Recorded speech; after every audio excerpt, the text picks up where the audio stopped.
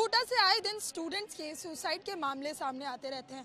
आए दिन आपने भी टीवी न्यूज़पेपर में ऐसी खबरें देखी होंगी कि किसी बच्चे ने प्रेशर में आकर सुसाइड कर लिया। इसको लेकर अब सुप्रीम कोर्ट ने पेरेंट्स को ब्लेम किया है। सुप्रीम कोर्ट का कहना है कि सिर्फ़ अकेले कोचिंग इंस्टीट्यूट्स को ब्लेम करना गलत होगा, क्योंकि पेरेंट्स की हाई एक्सपेक्टेशंस भी वजह बनती है बच्चों पर प्रेशर डालने की। इसी मुद्दे पर हम बात कर रहे हैं। युवाओं से वो क्या सोचते हैं कि क्या वाकई में पेरेंट्स की एक्सपेक्टेशन बच्चों को कहीं ना कहीं किसी हद तक प्रेशर में डालती है।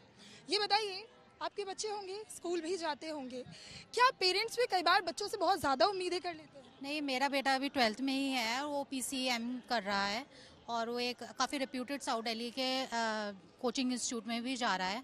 लेकिन हम बेसिकली चाह रहे हैं हमारा बच्चा एक हैप्पी लाइफ जिए। एक्सपेक्टेशंस ऑब्वियसली होती हैं लेकिन हम उसके ऊपर इतना प्रेशर नहीं डालते कि आपको ये ये लेवल अचीव करना है। हम बस ये चाहते हैं कि वो एक क्रैक करके, एक ठीक पोजीशन पे ले आए।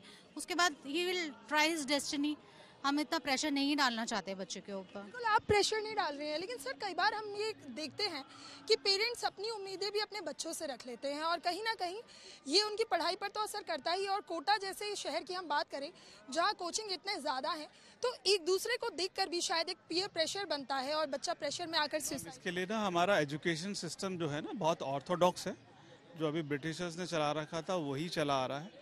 इनफैक्ट मेरा बेटा भी ट्वेल्थ में है साइंस कर रहा है।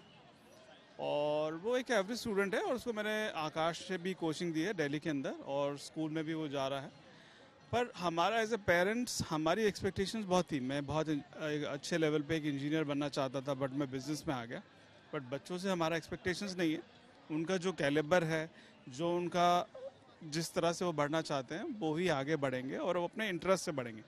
मेरे सन का इंटरेस्ट कंप्यूटर साइंस में है and is performing very well is doing coding बहुत अच्छा कर रहा। है पर समहाउ जो हमारा एजुकेशन सिस्टम है, वो ऑर्थोडॉक्स चला जा रहा है। अभी मुझे कुछ उम्मीद है कि एन में जो कुछ चेंज आएँगे न्यू एजुकेशन पॉलिसी में जो गवर्नमेंट इंट्रोड्यूस कर रही है तो उससे बच्चों के ऊपर थोड़ा बर्डन कम होगा। बर्डन कम होगा तो पेरेंट्स की भी उसी तरह से चेंजेस एक्सपेक्ट वो कम होंगी। पेरेंट्स की तो एक्सपेक्टेशंस कम होंगी, लेकिन यहाँ पर बहुत सारे युवा भी हैं, और क्योंकि आप लोग अभी पढ़ रहे होंगे तो जब हम पढ़ते हैं तो कहीं ना कहीं एक फैमिली प्रेशर भी नज़र आता है। कई बार फैमिली प्रेशर ना भी हो तो अपने आप को साबित करने की एक जद्दोजहद भी होती है। अब इस बीच सुप्रीम कोर्ट का ये कहना कि सिर्फ़ अकेले कोचिंग्स को नहीं ब्लेम किया जा सकता है। कैसे देखते हैं आप? आई थिंक बहुत सारे फैक्टर्स होते हैं. It's not the one factor जो सुसाइड इतना बड़ा डिसीज़न है तो उस पर एक फैक्टर तो हो नहीं सकता कि जो डिसाइड करेगा.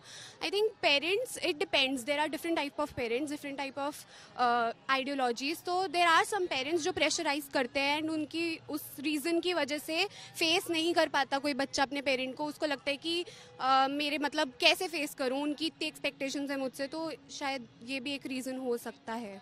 आप क्या सोचते हैं?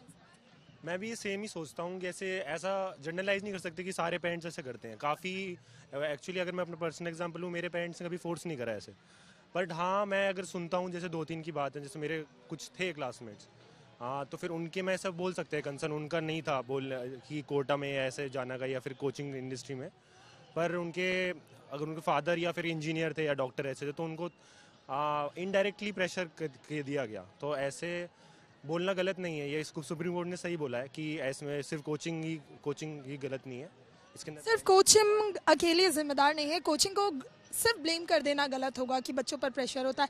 आप खुद स्टूडेंट हैं, ये बताइए कभी ऐसा प्रेशर महसूस हुआ कि नहीं, बहुत अच्छा परफॉर्म करना है और उस प्रेशर में कभी ऐसा हुआ है कि स्ट्रेस आ गया या कभी ऐसे ख्याल आते हैं कई बार कि नहीं, मुझे ये कोर्स नहीं पढ़ना, लेकिन पढ़ना पड़ रहा है क्योंकि पेरेंट्स एक्चुअली uh, मैडम वो क्या है uh, हम सोचते हैं हमारे लिए हमारे डैड मदर हमारे हीरो होते हैं हमारे। और उनके एक्सपेक्टेशन ये हो सकते हैं कि जैसे मैं अपना पर्सनल एक्सपीरियंस बताऊँ तो मैं फादर एन आई तो कोई भी पेरेंट्स होगा वो ऑब्वियसली एक्सपेक्ट करेगा कि जहाँ मैं हूँ मेरा बच्चा मेरे से ऊपर ही हो हर लेवल में। उस चीज़ में वो ये नहीं देखते कि बच्चे का क्या मोटिव है बच्चे को किस चीज़ में करना है बच्चे को नीट है जेई मेन से क्रैक करना है उसको आई में जाना है। उस चीज़ में वो पेरेंट्स पेरेंट्स का सोचना सही है कि बच्चा मेरे से अच्छे लेवल है पोजिशन पर है, पर इसका मतलब ये नहीं होता कि आप लाइक बच्चे पे वो ठोपी दो कि like yes you should do this कि आपको यही करना है। तो ये इस चीज़ पे यस पेरेंट्स का फैक्टर बहुत ज़्यादा प्ले करता है। और बच्चे को क्या होता है कि वो अपने पेरेंट्स के अलावा जो एक जोन होती है, वो सबसे क्लोजेस्ट जोन में अपने पेरेंट्स को मानता है। जब वो सबसे क्लोजेस्ट जोन वाले पेरेंट्स ही आपको मतलब अर्ज़ करते हैं कि आप ये चीज़ करो तो हमारे पास वो फीलिंग शेयर करने को कुछ होता नहीं और, कि हम किसको और जाके बोल सकते हैं।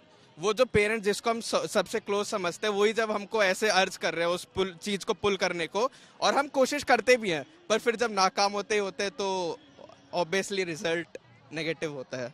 तो तो जब आप नाकाम होते हैं तो जो उसका परिणाम होता है, वो नेगेटिव होता है, और यही वजह है कि हर साल, कोटा ही नहीं, देश के अलग अलग राज्यों से ऐसी खबरें आती है कि स्टूडेंट्स पढ़ाई के प्रेशर में आत्महत्या कर लेते हैं, और अब इसको लेकर सुप्रीम कोर्ट ने बड़ी बात कही है।